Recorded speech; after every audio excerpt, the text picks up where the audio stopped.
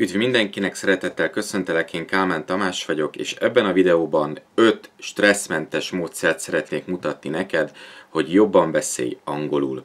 Ha érdekel téged az önálló angol tanulás, akkor iratkozz fel erre a YouTube csatornára, és hogyha szeretnéd megérteni az angol nyelvtant és letenni a középfokú nyelvvizsgát, akkor lent a videó leírásában nézz rá a tréningjeimre. És akkor vágjunk is bele a mai témába, tehát 5 módszer, hogy jobban beszélj angolul.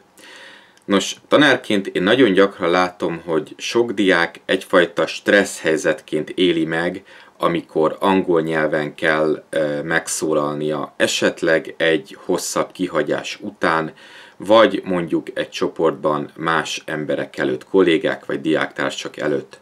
Úgyhogy ebben a videóban sorra vesszük azt, hogy hogy lehet stresszmentesen gyakorolni, fejleszteni és szinten tartani az angol beszédet.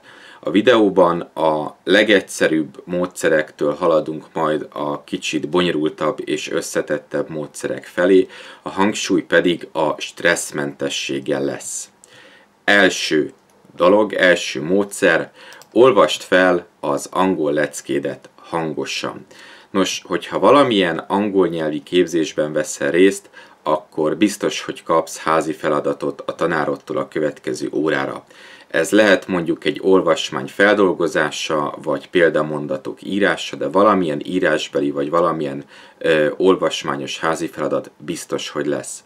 Na most a legtöbb ember azt gondolja, hogy ö, a házi feladat elkészítése egy csendes tevékenység, egyedül vagy otthon ülsz a szobában a tankönyvvel és szép csendben dolgozol de én elárulom neked, hogy ezzel a feladattal is lehet igen egyszerűen gyakorolni a beszédet.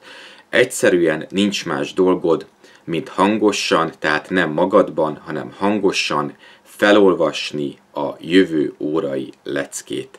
Tehát nem kell senkivel beszélgetni, nem kell feladatokat és szituációkat kitalálni, egyszerűen olvast fel háromszor, tehát három alkalommal egymás után a jövő heti házi feladatot.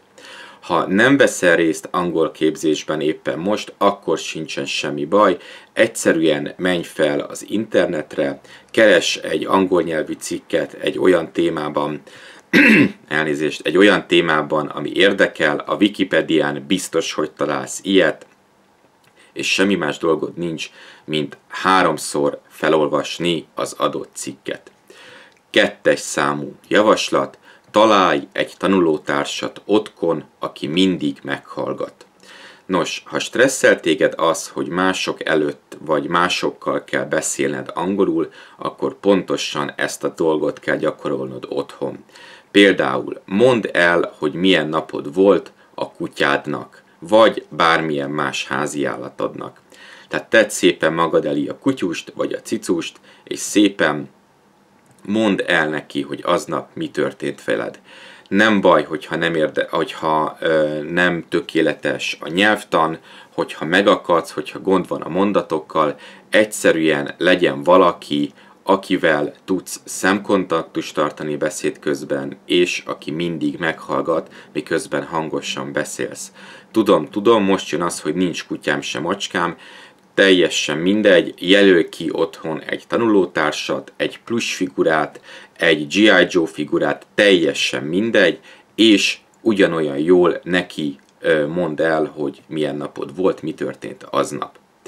Harmadik számú tip, találj egy élő tanulótársat. Ugye megyünk egy kicsit tovább. Lehet, hogy családi, baráti, ismerősi körben, a diáktársak vagy a kollégák között van valaki, aki szintén ugyanezzel a problémával küzd, tehát stresszeli, hogyha valakivel angolul kell beszélnie. Úgyhogy állapodjatok meg, jelöljetek ki egy vagy több napot a héten, amikor fél órán át vagy egy órán keresztül, ugye megint minél hosszabb az idő, amit ráfordítasz, annál jobb.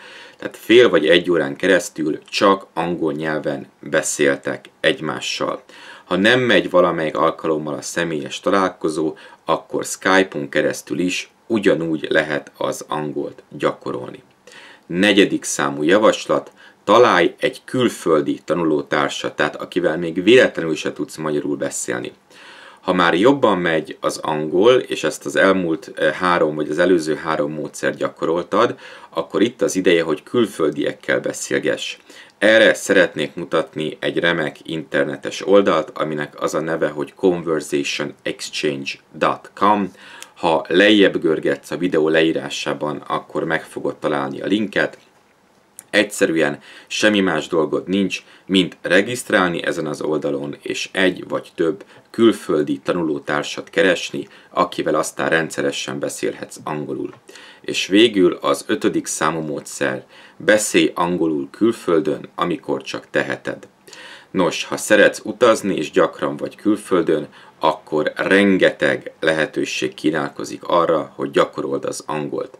Tudom, hogy a mai világban a technológia meg az okostelefonok korában tulajdonképpen senkit nem kell megkérdezned, hogy mi hol van, ott van mindenkinek a telefonján a térkép, de én mégis azt javaslom, hogy nagyon tudatosan keresd azokat a lehetőségeket, amikor angolul kell, hogy megszólalj. Tehát beszélhetsz járókelőkkel, pincérekkel, szállodai alkalmazottakkal, vagy múzeumi teremőrökkel, teljesen mindegy. Ez, ez is ugye egy teljesen stresszmentes dolog, nincs tétje valójában. Ha nem érted meg, hogy az illető mit mond, vagy mit válaszol, egyszerűen azt mondod, hogy thank you, bye. Tehát megköszönöd a segítséget, elköszönsz, és mész tovább a következő járókelőhöz. Nos, remélem, hogy hasznosnak találtad ezeket a tippeket, én köszönöm, hogy megnézted ezt a videót, kérlek, hogy oszd meg barátaiddal és ismerőseiddel, hogy ők is tudjanak belőle profitálni. Még egyszer köszönöm a figyelmet, viszlát legközelebb!